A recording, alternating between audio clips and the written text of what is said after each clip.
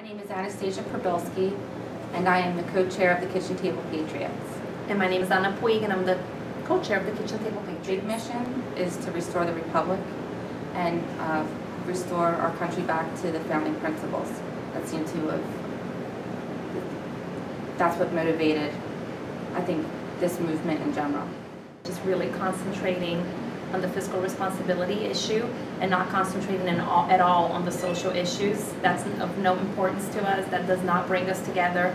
What brings us together is the spending out of control that the government has been doing with our money. Mission is to expose to the American people what is going on in our country. Yeah, and you know what we hear the most, the three things that we hear the most, people are frustrated with the state of the economy, they're frustrated with the lack of transparency that the government has, and they're frustrated that we have no national security and no plan for national security. So those are the three big issues that we hear on a daily basis, the feed coming through in our website.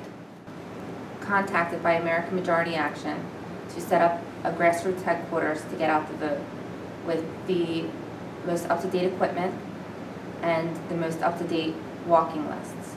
We are going to have iPhones, walking list iPhones, phones that you don't need to dial, data computers throughout this building. It's, it's two stories.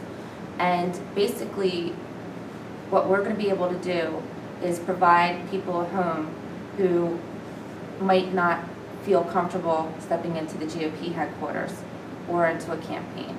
And so that is it in a nutshell. Right, and, and the bottom line is, I'll just add to that, is that it's state-of-the-art equipment.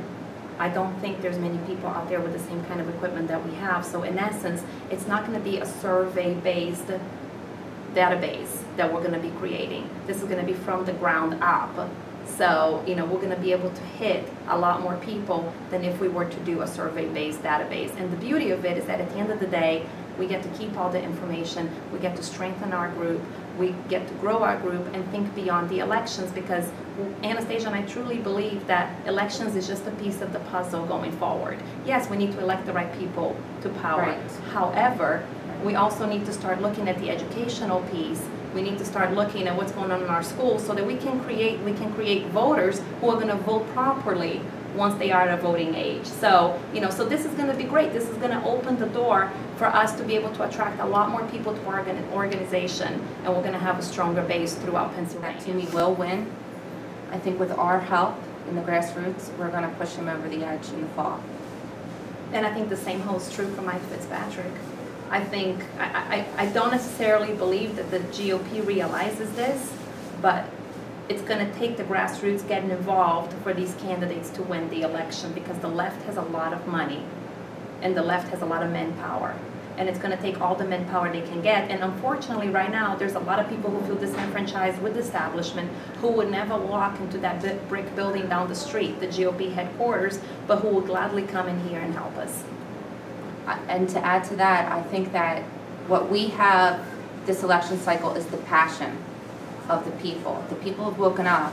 And so what we can do on a, on a small budget is 10 times what the left needs on, with their budget because of the passion that we have. Site that is pretty primitive. However, every day we get new emails and it's, it might, I, you never know what's gonna, it's gonna take to wake up that person. It could be another bill that uh, Obama and- and the Congress passed, but all of a sudden you get an email like, I can't take it anymore, I wanna get involved. So if we started this a year and a half ago, you know, when we heard Rick Santelli, we've been going at it for a year and a half, but there's still people waking up in this country. And those are the people that we are capturing. And, and I will add to that, I think at first, this was a movement that was mainly of, you know, conservatives that have been conservatives all their lives and Republicans, but it's completely changed. We have a lot of independents in our group.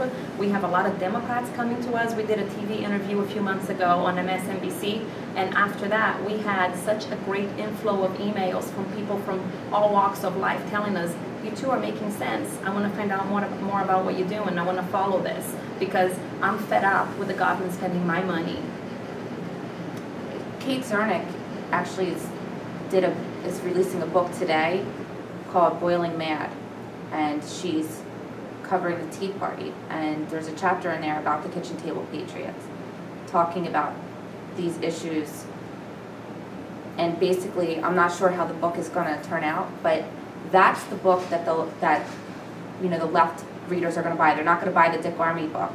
So, I don't know if it's a fair representation of the movement. I, I believe that Kate uh, Zernike will, will have, do it, you know, do just reporting, and the left will buy that book, which is another way for us to reach them. And it was the same philosophy that we had when we decided to do the MSNBC interview. We were highly criticized by a lot of other groups, you know, why are you gonna step into that territory? But it's gonna take, stop preaching to the choir and stepping into the other side to gain our country back. So, and we're ready. Initially, I think it was mainly Bucks County people because we started out with the Tea Party at Washington Crossing Park, April of 2008. So it was a very local thing. But because we've done so much work and we've been able to expose the Kitchen Table Patriots to other groups that are national based and we've been able to speak at mm-hmm. different events throughout the United States, we're now getting feed from people from all over the country.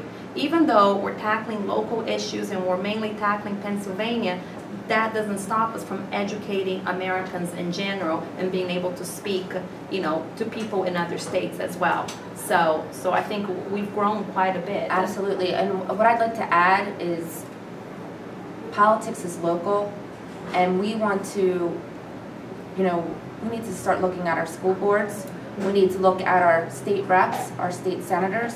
You know, Harrisburg has a huge problem, and I think now that we have all these people waking up, they're not just, they're paying attention to the local issues as well, which to me is just as important. We're, we've run people for, for committee to get them involved in the GOP. I'm a committee woman, so I'm part of the GOP now. I'm a committee woman She too. ran for committee, so we, we ran a bunch of people at the last election. So we will then have influence on the direction of the GOP long term. We saw a lot of conservatives in the very beginning. It was Republicans, it was conservatives. Now, we're seeing a huge inflow of independents and Democrats. So, a lot more than we're seeing just Republicans. So I I think we're definitely in the, in the crossover state. You know, people are fed up. If you're a small business owner and you're a Democrat, you're fed up with the system. Your, your business is suffering. You're about to go out of business. So, people want to see change. They want to see the proper kind of change this time around. I think Congress is doing our recruiting for us. Mhm. I really do. And when I say that people will, will tell me something, I'm like, I already knew that. They're just discovering this for the first time. Right. Excited. And we're here to stay. We're we're not going away. We're not going away. This is just the beginning, and like I said, election is just a piece of the puzzle. Our next subject that we're gonna tackle, hopefully to- towards December, January, is gonna be school choice, education, getting into those school boards, and, you know, giving parents a voice so that our children are not gonna be indoctrinated anymore.